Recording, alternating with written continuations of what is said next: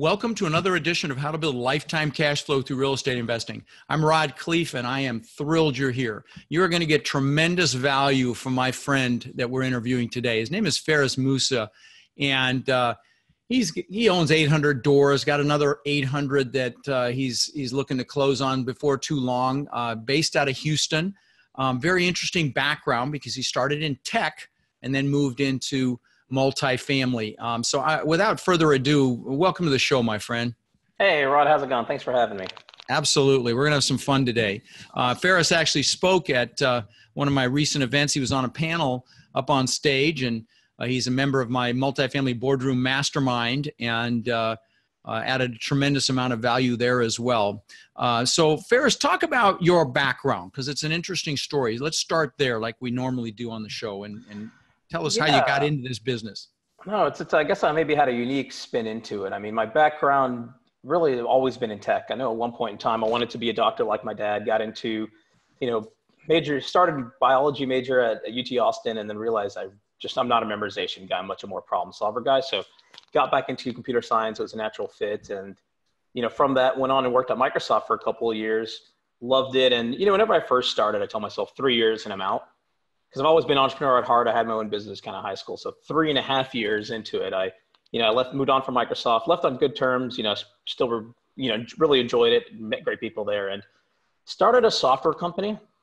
And then from that, really, you know, I was moving back to Houston. I had extra capital and, you know, what, is, what do people do, right? You start to learn how to invest that. And so, you know, I'd already been invested in the stock market and I was looking at something better than that. And so I started with a single family space. And so uh, before I moved back to Houston, you know, I had a fourplex under contract.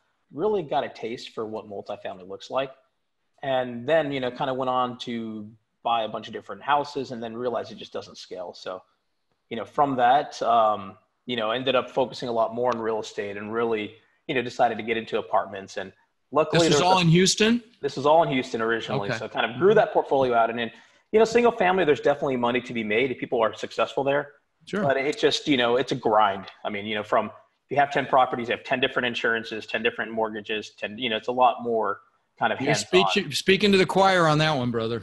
yeah. And so, um, you know, so then I made it, you know, decided to move into multifamily. I made an offer on a small 30 unit in Conroe, which is just north of Texas. Luckily did not win that one. And hmm. then, you know, learned about syndication and loved it. Right. And, you know, kind of met my partner, Ben, and we just kind of ran with that and started the Disrupt Equity. So talk about the first uh, deal that so you went right into from single family into a doing a syndication.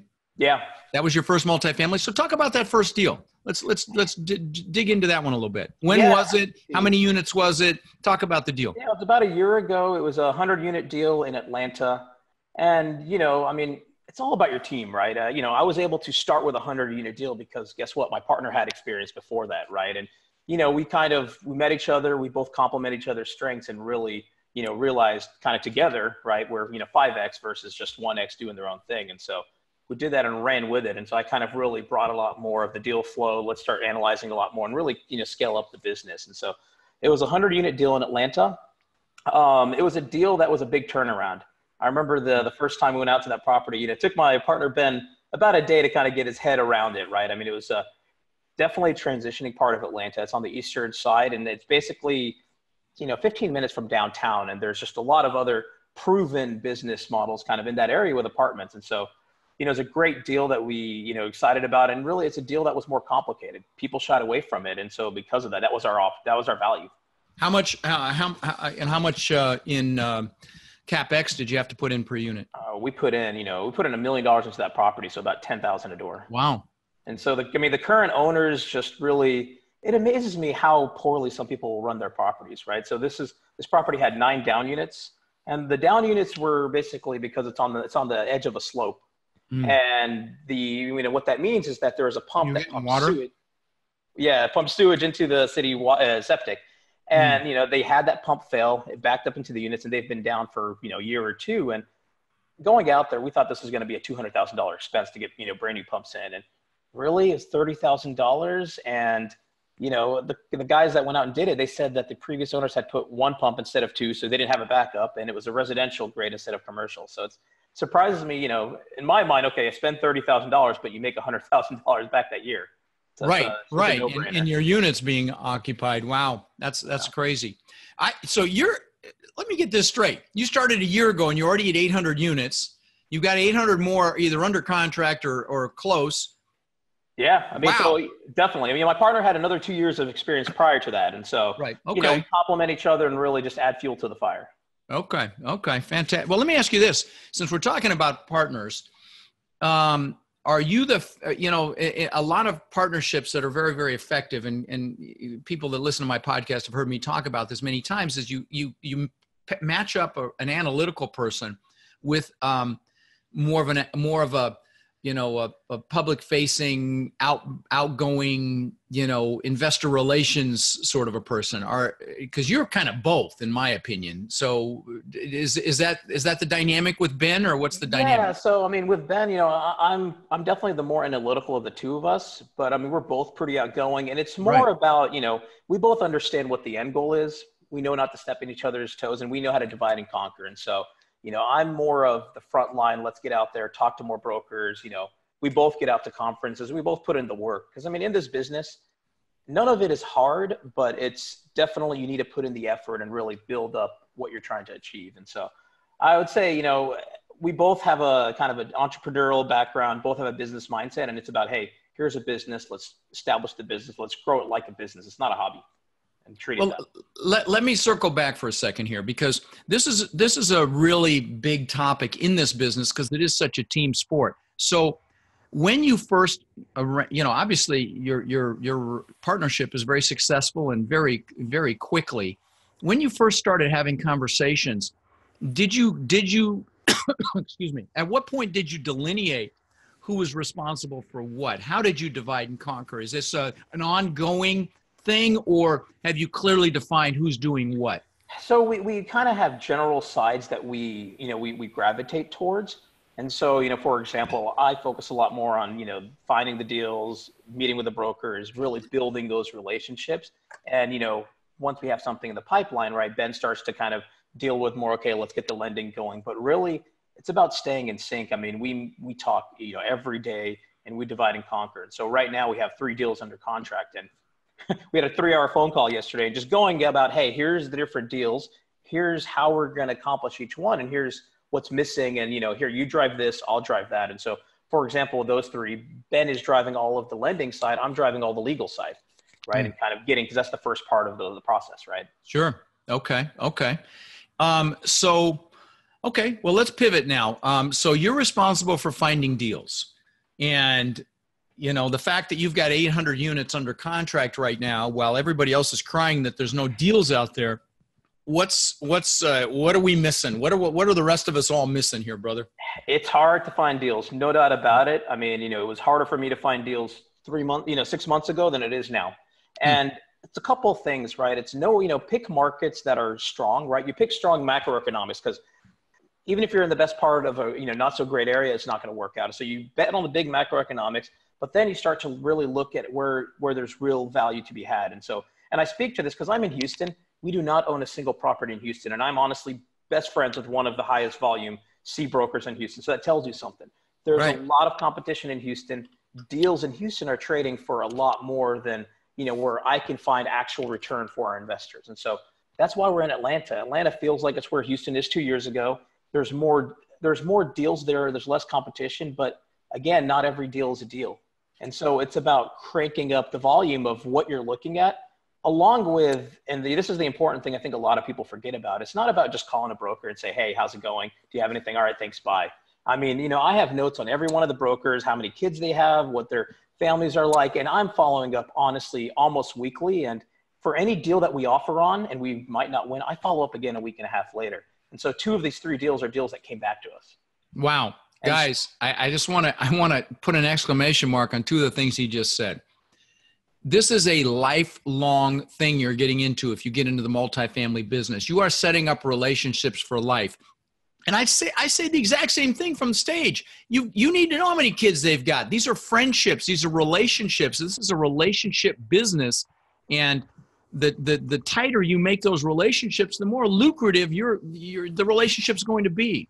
So uh, love it. And and and you know, this is not a get rich quick business. This has become this has become very very wealthy over time business, but um, you know, you're going to be doing this for decades, and that's like why you treat those relationships. Huh? I like to call it get rich slow. Get rich slow, yeah, but get very rich slow, yeah. and and that's really the truth of it. But um, but the relationships are critical. So, and and the other thing I want to draw home is, you know, if you bid on a property, I can't tell you how often, um, you know, we we get outbid, but then um, you know, we we we stay in communication with that broker. We we continue to call, and you do it weekly. Wow. Uh, and and then um, uh, you know deals come back along because people are trying to overpay. They're not thinking it through, and they and they, and they they fall out. And and uh, that's just very very common dynamic. So very very important. You stay in touch with these brokers contis- consistently. All right. So. And one other thing to add to that too, actually, and so mm-hmm. you know, building that relationship gives you the broker's confidence but then also because you're staying in contact with them frequently, you're top of mind. And so one of these deals was a deal that the broker literally called me. He's like, "Hey, we have this deal. I'm showing it to you and two other people. Here's the price the seller wants. If you can hit it, it's yours. Otherwise, it's going to go to market." And you know, we we were one of three people versus one of 300 people, and that's attractive, right? And it's a, it's a you phenomenal bet. deal. And so, and then the last thing to add and kind of really tell the audience is a lot of times it's not just about price. And so, and I make that clear to my brokers. I tell them, hey, here's my price. I can't come up on price because that starts to impact what my investor returns are. Right. And I'm not going to go, you know, tweak the numbers to make it look like a deal. I mean, because really in this business, right. and there's a lot of that going on. Oh, what you yeah. just said, tweak the numbers to make it look like a deal, um, yeah. especially in this hot market. Lots of mistakes being made. So just you know, both eyes wide open, guys. And okay. this business is all about your reputation. Mm-hmm. so Ben and I are 100% big on that, and it's about you know I'd rather not get in a deal than get in a deal that I can't confidently report, you know, uh, deliver on. And so, but uh, you know, I tell the brokers like, hey, my price is pretty fixed. What else can I do on the terms to tweak it? And the thing I want to say is, don't negotiate for things that you don't need. So, for example, 30 days due diligence is the norm. We never have submitted a 30 day due diligence clause. Always we're you know 21 days, and you know to get competitive, we'll do 14 because once you do your on-site due diligence, you you know with 90% confidence the day you leave that you're buying or not buying that property. So, you know, I can make this more attractive. I can put more hard money, I put more risk capital, you know, mm-hmm. to get the price that I need. And it's really about kind of combining all these factors to make a deal work. So hard money, shorter due diligence, um, any other anything else there? Those I mean, I'll, I'll tell them what is the seller looking for? What is their situation too, right? Because sometimes you can find creative things to kind of capitalize on that. Maybe it's a big value add and they're running out of money and they've done you know, there's 10 more units left, they haven't upgraded. I'll tell them, look, I'll take it as is. You don't, you don't need to finish it. And there's kind of, you really need to listen to the story because every property has a story. So, so let's talk about for a minute creativity. Let's talk about, and so it starts with listening to the story.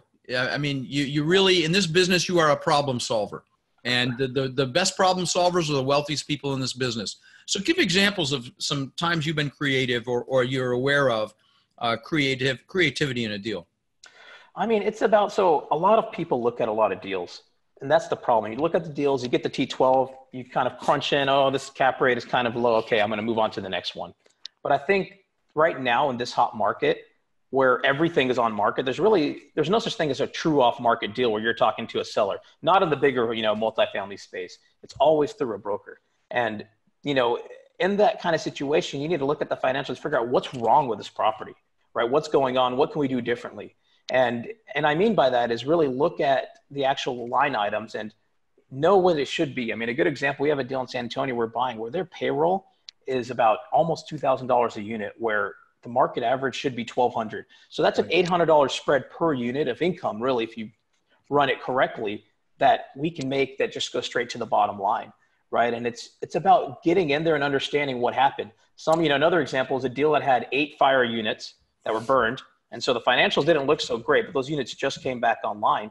But guess what? If you didn't know that and the broker, which, you know, if the broker didn't mention that or you kind of overlooked that, that's eight units of income you just completely did not account for. And so it's really about ask the questions, dig into it, and spend the time and figure out, okay, I understand where the numbers are now, but really what can be done here to get it to where we want it to be. Right. Right, and and so you know, you for for example, that San San Antonio deal that might have been marketed at a at a at a at a cap rate that that didn't look very attractive. But when you dig in and you see the payroll is 800 per unit high, that's a huge swing to the NOI. Yeah. And so, uh, you know, instant value just by by managing the property more effectively, and that stuff happens. You know, owners will overpay, or you know, they'll hire on-site staff that they love, and they overpay them because they've been there forever, and and it's it's not uncommon at all. Yeah. And that's just one example, but l- like you know, like digging in to find out that there are, you know, that there are units that uh, that aren't even represented in in the um, in the P and L uh, because of fire, like you said, and or that water problem on the Atlanta property. No, exactly. you dig Yeah, deeper, and and there's there's gold there. So okay, Yeah, I'm, start, I'm starting to see too is that right now people that bought properties in 2012 are exiting. Well, those people, their cost basis is so low that if the thing is not running that great, they're fine with that because guess what? They're still making a lot of money. And so, you know, it's that complacency aspect. Even so, this deal's an institutionally owned deal. And so you think institution is a little more on top of it. But I mean, they're definitely running that very fat. And, you know, we're being conservative on our pro forma. You know, we're saying, okay, they're at 18. We think it could be 12, but really we're modeling it at 1500. Because to us, that extra 300 that we probably can get to is gravy on the deal. you bet, you bet. And guys, whenever you're dealing with investors, you always under promise and over deliver. That's uh, sure. And then they're throwing money at you because you know they you, you, that's just the way to do it. In fact in any sale period that's what you should try to do. Um, so now let's talk about what you do. I mean we've, we've, we've kind of touched on some of these other topics i want to go on but i want to dig down a little, little bit deeper. So let's go back to analysis for a minute. So um, you know maybe walk us through what you the first things you look at when you get a package from a broker what maybe walk us through the sequence of events if if it's if that's possible i mean No, maybe would be, be would be happy to.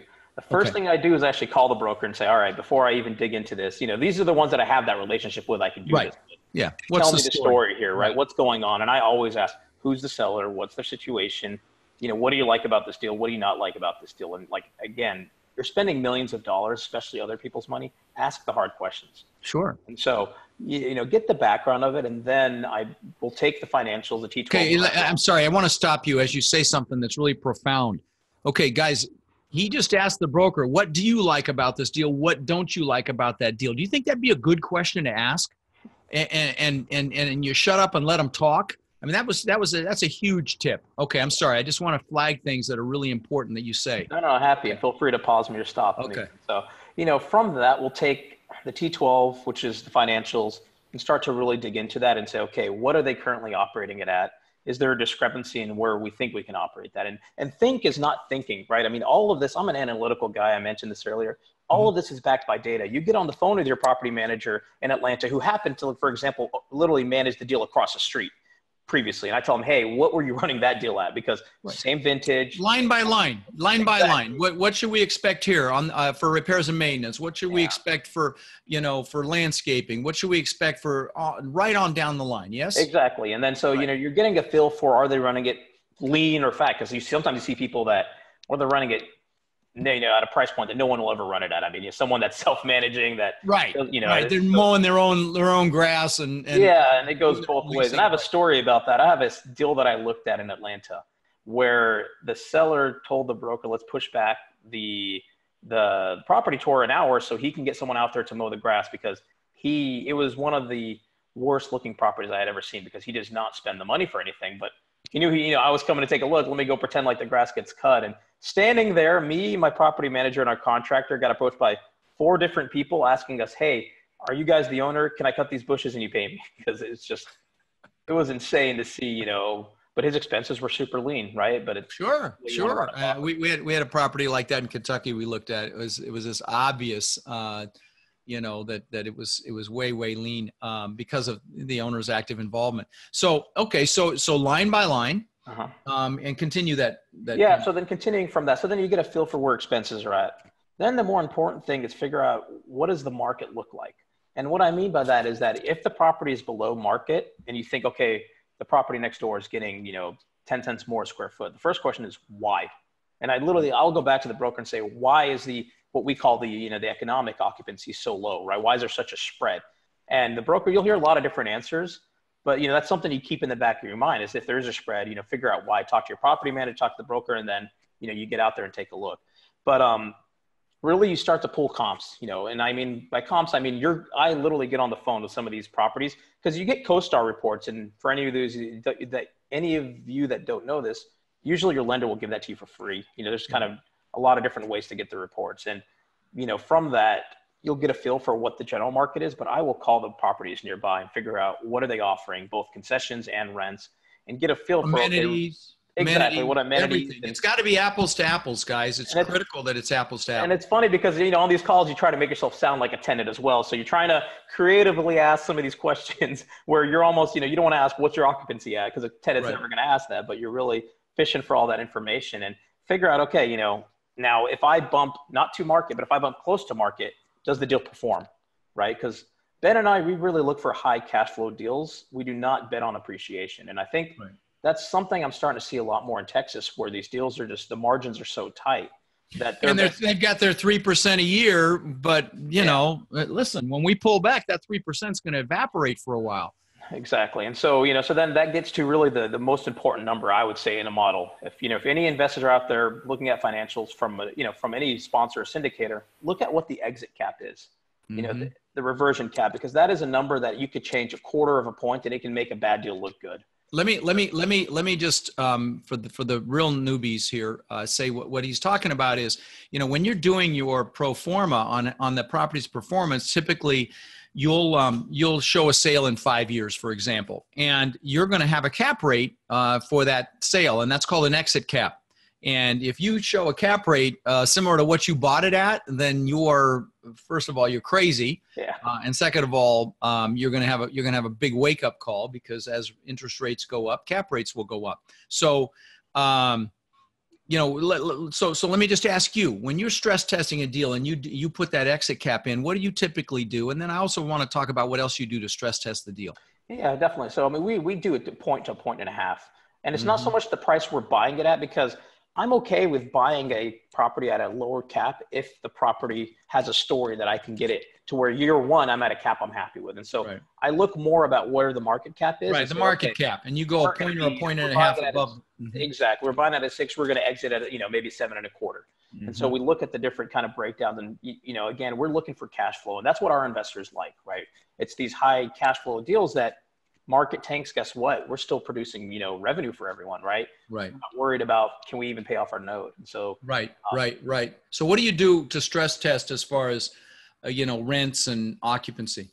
Yeah, so a couple different things. So you know, you can tell where occupancy is at currently. Where you know, you talk to your property manager, you get a feel for what that sub market looks like. But then you know, we assume, hey, if you know occupancy drops, let's come down from you know 90%, maybe our 90. Let's say let's go down to 85 and on top of that, let's also drop rents, you know, 8%. What happens, right? right. Does the deal support itself? And you're really, right. you know, grinding these numbers and looking at it from all different cases. Because guess what? I, you know, this is other people's money I'm playing with. It's not my money. I'm not going to go out and take a risk because I just won't get in the deal if it's not that. Right. No, you've so. got, and guys, when I say stress testing, what we're doing is we're looking to see what happens if there's a pullback. Yeah. And, and for those of you who don't understand that term, and you've got to stress test a deal because you know there's going to be a pullback. It may have already started. Who knows? But but um, uh, so so 15% vacant. Uh, you know, uh, eight percent drop in rents. You know, that's pretty, that's that's pretty. That's about what we do as well. So yeah. so we're we're lined there. Awesome. So anything else on the analytical side before I yeah, move into the management? About, you know, it's about looking at real financials from other well-running properties. So to, mm. to give you an example, we have a property in Beaumont that we actually just sold last week. Mm. You know, home run deal worked out really well, but we bought the property that's across the street at a better location a few months ago.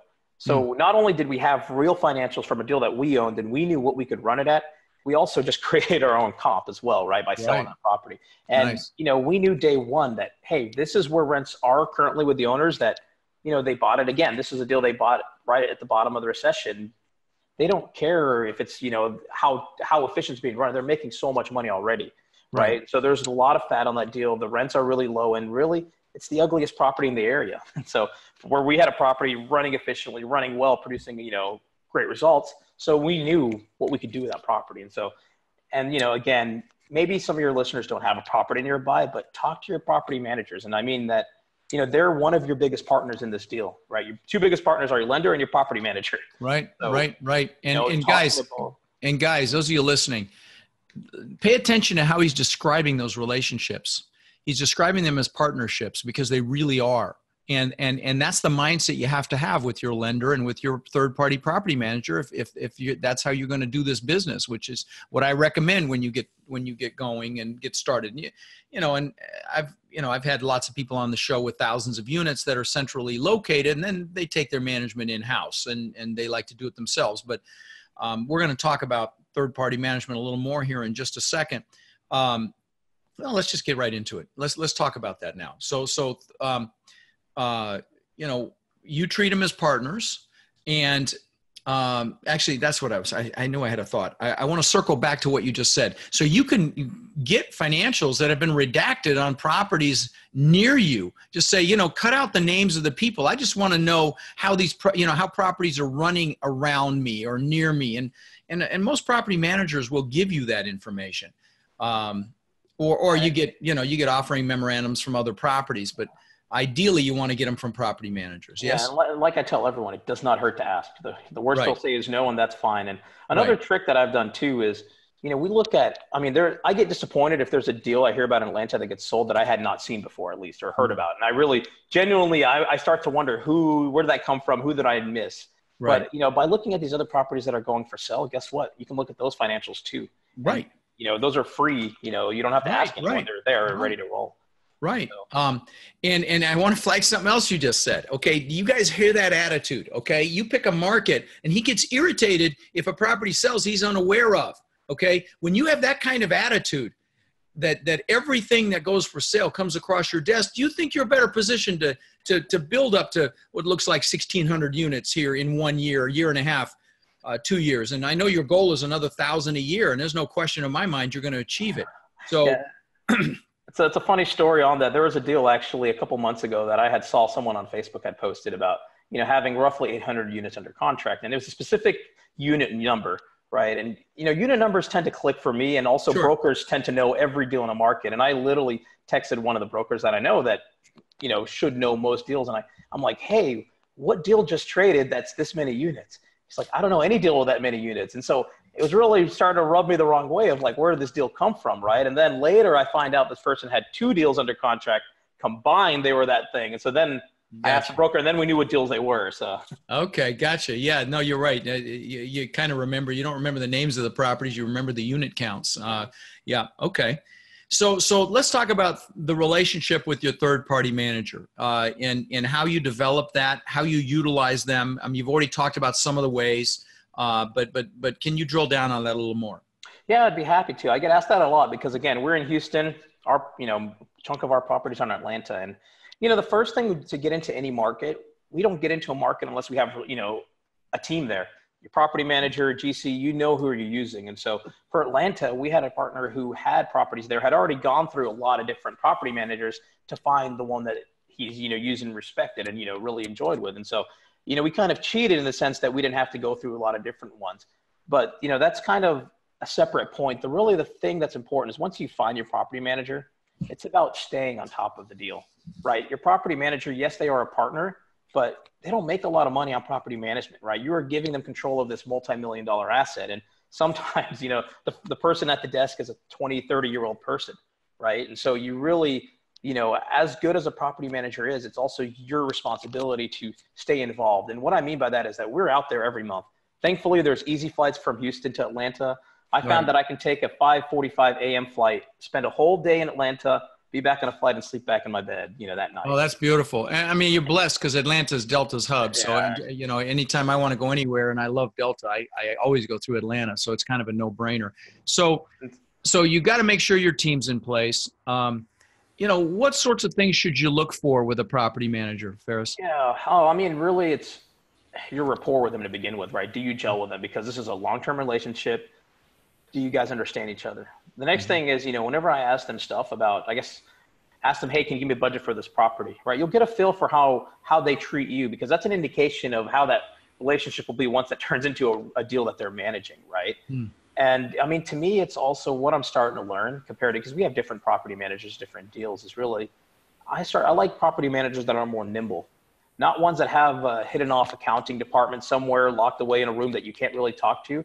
I like the property manager that you know they know the regional knows. Hey, you know we're going to hold. We're not going to pay this invoice until a little bit later because we're going to have you know just to keep more cash on hand. Really knows how to roll with it, right? And so you really want to match property managers to deal asset classes.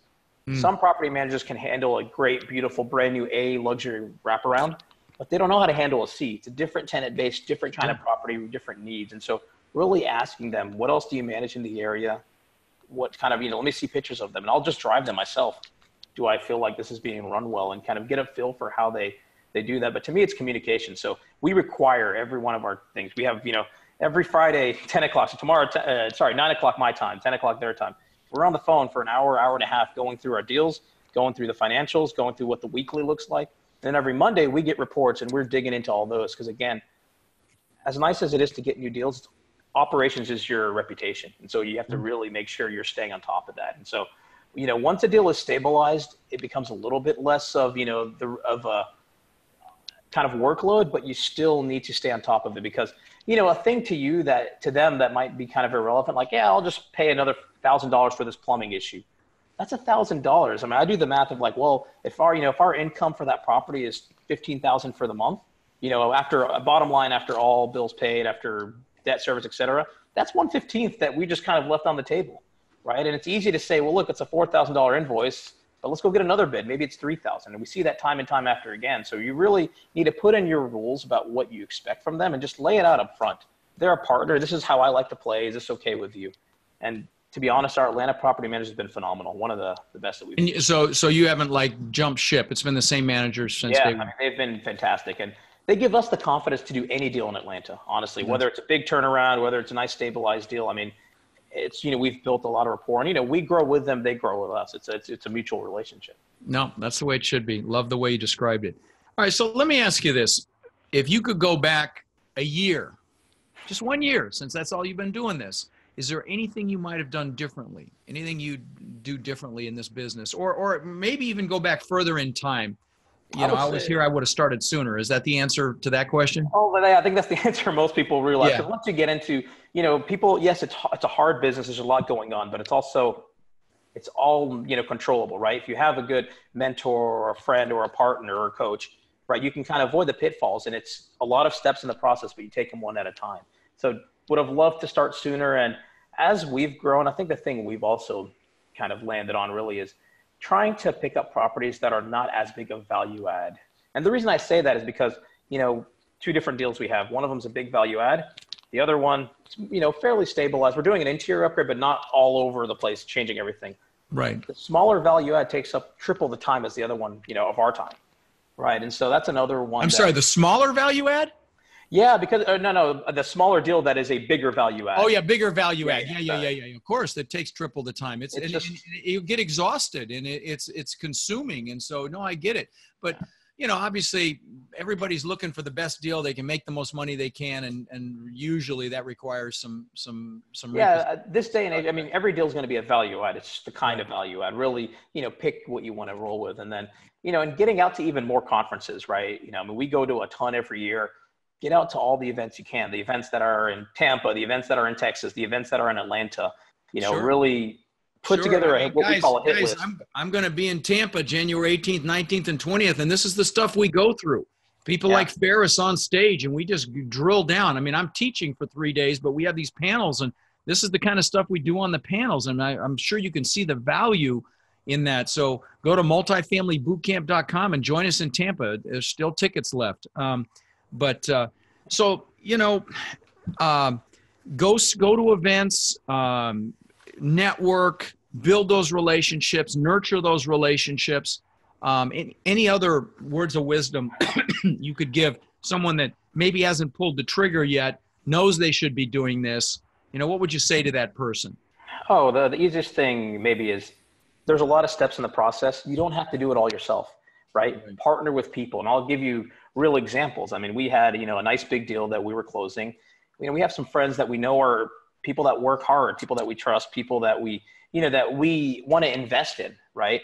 and we bring them on and say, hey, how about you do this deal with us, right? They're adding value by either putting up hard money, maybe they're helping raise, whatever it is. But they're bring their resume, they bring their yeah, network, getting, they're getting their feet wet, and we give them that. And You know, we agree with them like, hey, we'll give you the visibility into the process, and mm-hmm. doing that one deal, you learn so much from it. And so, you know, I, I, I kind of like to say that Ben and I have gotten to the point where we're almost glorified matchmakers, right? We we find deals and we find different sources of team members, whether it's equity or and we start to figure out how do we combine these together, yeah. right? And so, I mean, because Ben and I cannot do three deals at one time, just us two, right? We definitely right. bring on more people, and it's a big pie, and that's I guess what's attractive to me about the business is that it's a numbers business, but it's a relationship business, and it's about how do you slice up the pie to where everyone is, you know, getting value and happy with it as well. Yeah, yeah, we, we do the exact same thing. Uh, you know, we consider ourselves matchmakers as well. We have so many deals that come to us from students and listeners and everything else, and and then we've got so many people with money. It's kind of like putting putting putting the pieces together, and and we can be very very selective. And and you're doing the same thing, which is awesome. So, um, well, listen, uh, you have added tremendous value today, my friend, and I'm looking forward to seeing you here in short order at our mastermind and. Uh, um, uh, guys, if you're interested in connecting uh, with Feras, it's disruptequity.com. And um, thanks for being on the show, brother. It's such a treat to have you. Oh, no problem. Thank you for having me, Rod. Definitely appreciate it. All See right, buddy. All right. Talk to you soon, my friend. Take care. Thank you for listening to the Lifetime Cash Flow Through Real Estate Investing podcast. If you've enjoyed the show, please take a minute to visit iTunes and leave your comments. For more resources or to connect with us further, please visit our website at rodkhleif.com. Tune in next week for our next show.